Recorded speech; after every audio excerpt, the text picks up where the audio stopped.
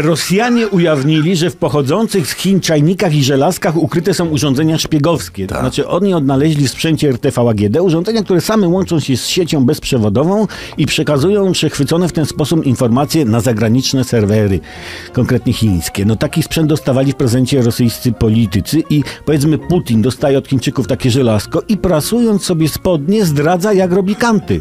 No, ta, taka inwigilacja poprzez sprzęt RTV AGD może dotyczyć wszystkich, czyli każdego.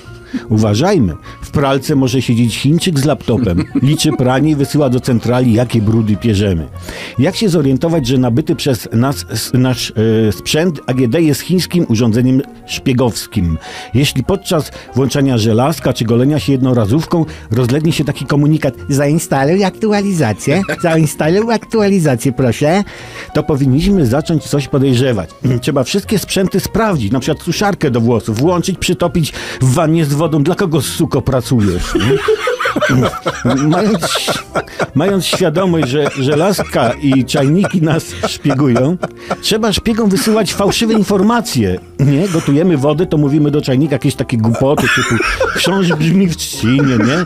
Stół społywywaty tymi nogami, nie? Takimi, nie? Czy taki łamaniec językowy. W Polsce jest wszystkim dobrze, ZUS jest wspaniały, nie? Żeby w błąd Chińczyków wprowadzić.